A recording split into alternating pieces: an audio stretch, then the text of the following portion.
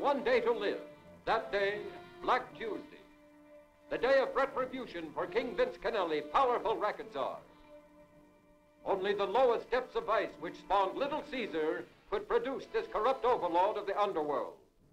His cunning and daring brought about the most fantastic prison break in the annals of crime.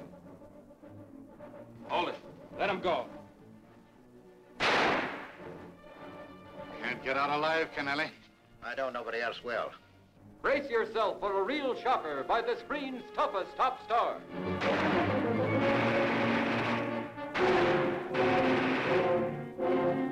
Only the mind of a vicious woman could bait a trap so cruel, so cold-blooded, so murderous as this. You set it up for me, honey.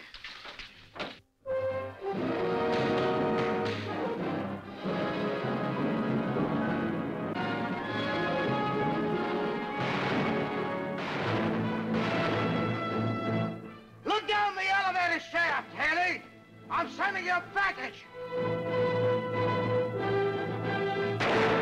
In ten minutes, you'll get your second pigeon, and they'll keep coming as long as they last. Every ticking second a lifetime of suspense. Every precious moment an eternity of fear.